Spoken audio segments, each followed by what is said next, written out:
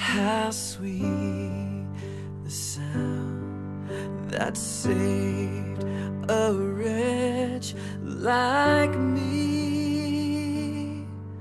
I once was lost, but now I'm found. Was blind, but now I see. Twas great that taught my heart to fear, and grace my fears relieved. How precious did that grace appear the hour I first believed. My chains are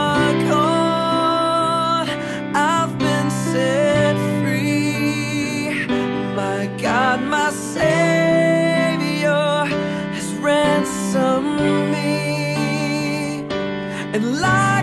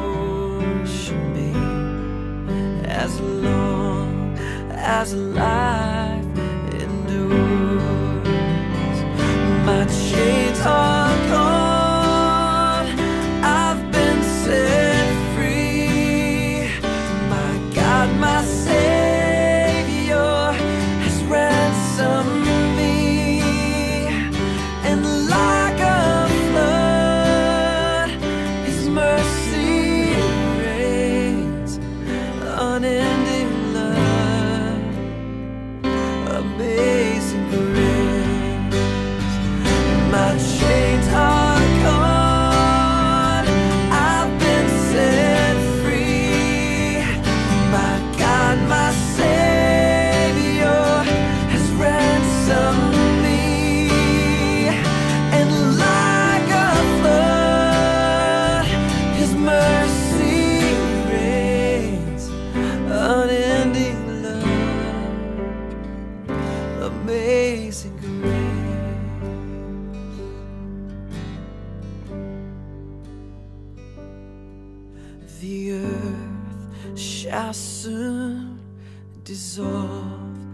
Like snow. The sun forbear to shine.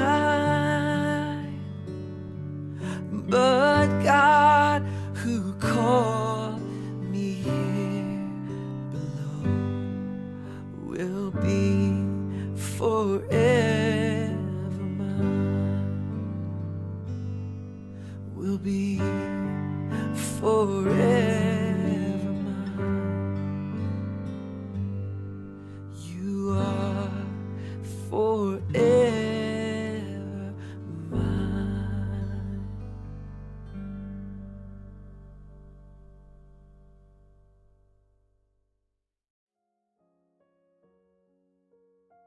Day 2. Romans chapter 3 verse 23. For all have sinned and fall short of the glory of God. Ezekiel chapter 18 verse 20. The one who sins is the one who will die. The child will not share the guilt of the parent, nor will the parent share the guilt of the child. The righteousness of the righteous will be credited to them, and the wickedness of the wicked will be charged against them. Ephesians chapter 1 verse 7. In him we have redemption through his blood, the forgiveness of sins, in accordance with the riches of God's grace.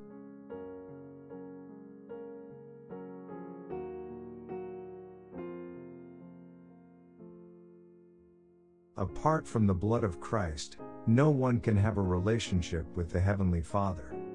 Because God is holy, our sin blocks any chance of connection with Him. But in love, He planned and initiated a course of reconciliation with fallen humanity. The blood of Jesus provides all that we need to draw near to the Father. To redeem means to buy something back. Jesus Christ came to the cross for the primary purpose of purchasing us from a life of slavery to sin. Maybe you think you're a pretty good person and don't feel enslaved to sin. But no matter how moral a person may seem, every human being has a sin nature. To set us free, a price had to be paid. But to whom? Jesus didn't pay off the devil, he paid the price that God required in order to satisfy his holy justice. According to Ezekiel chapter 18 verse 20, the person who sins will die. The cost of our redemption was the blood of the perfect Son of God, and he made this sacrifice in our place. Because the Father accepted Christ's payment, we've been set free from bondage to sin and have received the power of the Holy Spirit, who enables us to live in the freedom of obedience to the Father. Now, when it comes to forgiveness of our sins, most people have the idea that the Lord will forgive them simply because they ask Him. What they may not understand is that the basis for His pardon is not their request, but Christ's payment for their debt. The Lord cannot forgive wrong just because someone asks. His holiness will not allow Him to overlook sin, it must be punished. His justice will not allow Him to forgive trespasses without a payment. Only with the substitutionary death of the perfect Son of God does the Father have a legitimate basis by which he can forgive whoever comes to him in faith and repentance. There is nothing we can do to earn his forgiveness. Our pardon is granted only when Christ's blood is applied to our lives.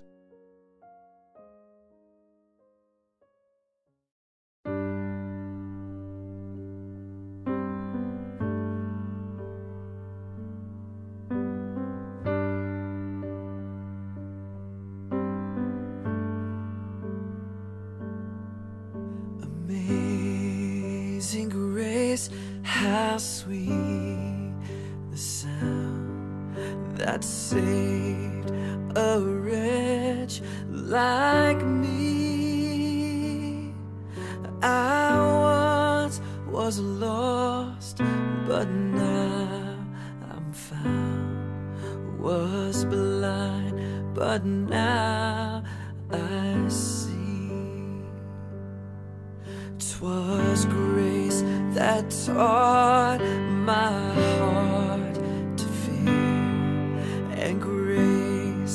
my fears relieved. How precious did that grace appear the hour I first believed my chains are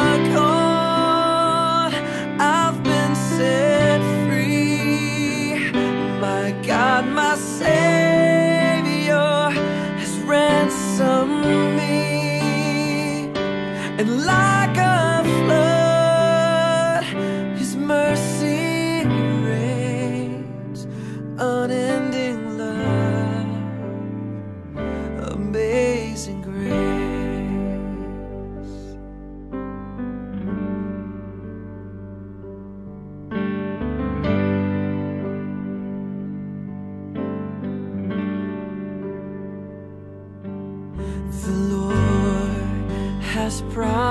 promised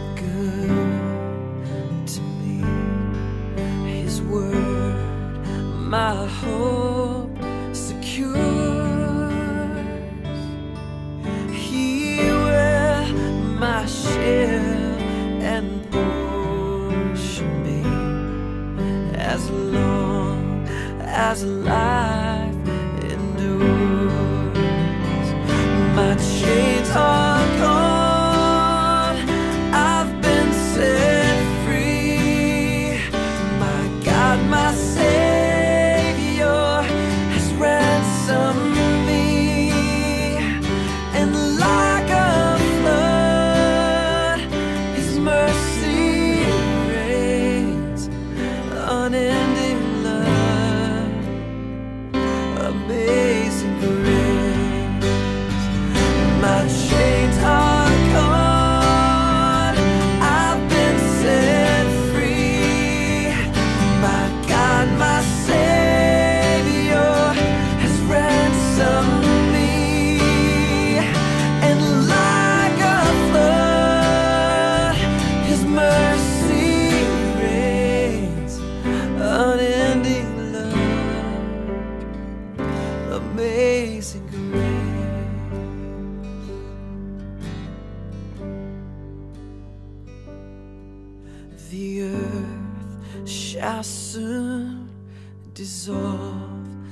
snow, the sun forbear to shine.